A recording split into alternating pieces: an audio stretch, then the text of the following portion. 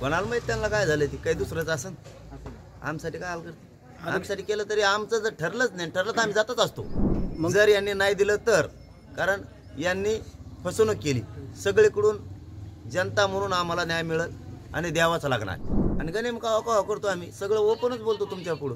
आता आम्ही तेवीसला सांगूच म्हणलं ना. त्याला आता गणेम कावा थोडं म्हणता येणार आहे. कुठेतरी सरकार खबरदारी घेत आहे का? तुम्हाला काय वाटतं? आता आम्हाला काय माहिती खबरदारी घेतं काय करते ते त्यालाच मग खबरदारी घेतंय काय करतंय? नाही दिलं तर आम्ही गेलोत का? नाही. दुसरं नाही दिलं तर का नाही दिलं तुम्ही? सांगितलं कोणी होतं तुम्ही देतो. काय तर तुम्हाला आहे? आम्हाला नाही का? आम्हाला बी. तुम्हाला नाही का? देतो कोण म्हणलं होतं? तुम्ही दिलं का? नाही दिलं म्हणून गेले. हे जमावबंदीचा फार्स कशासाठी मुंबईतला? कोणाला माहीत त्यांना काय झालं ती? काही दुसरंच असं नाही. आमच्यासाठी काय हाल करते आमच्यासाठी केलं तरी आमचं जर ठरलंच नाही ठरलं तर आम्ही जातच असतो. आमचं ठरलंच नाही. आमचा तो काही विषयच नाही. तुम्ही देतो म्हणले होते आमची फसवणूक का केली? हा सगळ्यात मोठा विषय आहे मग. मग? कारण आम न्याय आम्हालाच मिळणार. सगळ्या बाजून. जनतेच्या बाजूनं न्याय आम्हालाच मिळणार जनता आमच्याच बाजून राहणार.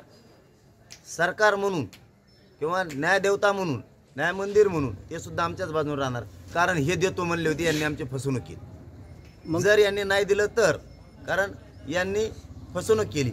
सगळीकडून जनता म्हणून आम्हाला न्याय मिळत आणि द्यावाच लागणार. मग जरांगे पाटील मुंबईला काही गनिमी कावा करायचा आहे का तुम्हाला? असं नाही म्हणून. त्याचीच खबरदारी घेते का सरकार? आणि गणेम कावा कावा करतो आम्ही. सगळं ओपनच बोलतो तुमच्या पुढं.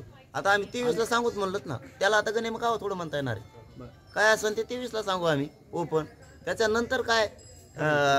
तुम्हाला अपेक्षित आहे. पण मला सांगा काय नोटीसची गरज आहे? मुंबईला जाऊ नका म्हणून नोटीस देता काय तुम्ही आम्हाला? कशामुळं? तुम्ही कशामुळं नोटीस देणार आम्हाला? बरं त्याच्यानंतर ठरलं जर तरचा विषय. मग मुंबईत जाऊ नका म्हणता तुम्ही आम्हाला? जमावबंदी काय जमावबंदी फमावबंदी? काय लावली? जमावबंदी? मग कसं बघायचं आम्ही? सहल कशी असते?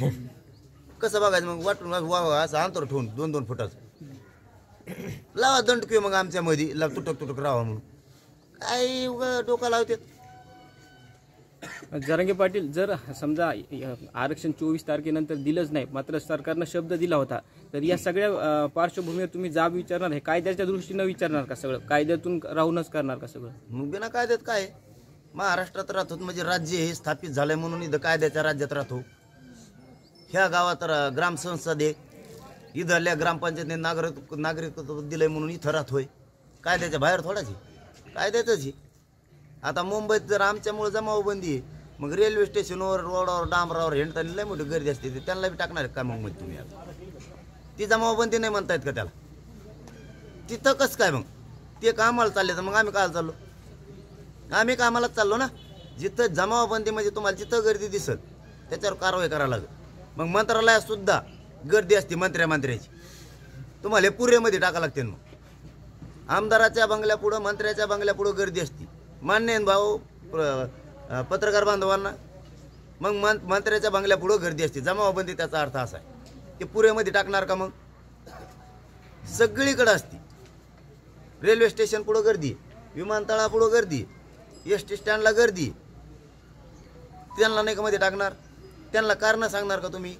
ते नोकरीला चालले किंवा ते फिरायला चाललेत म्हणून गर्दी आणि मग आम्ही काय चाललो?